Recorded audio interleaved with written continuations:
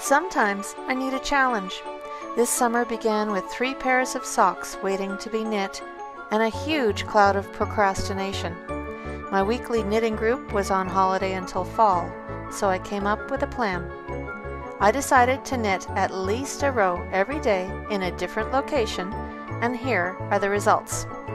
Creativity is a powerful motivator.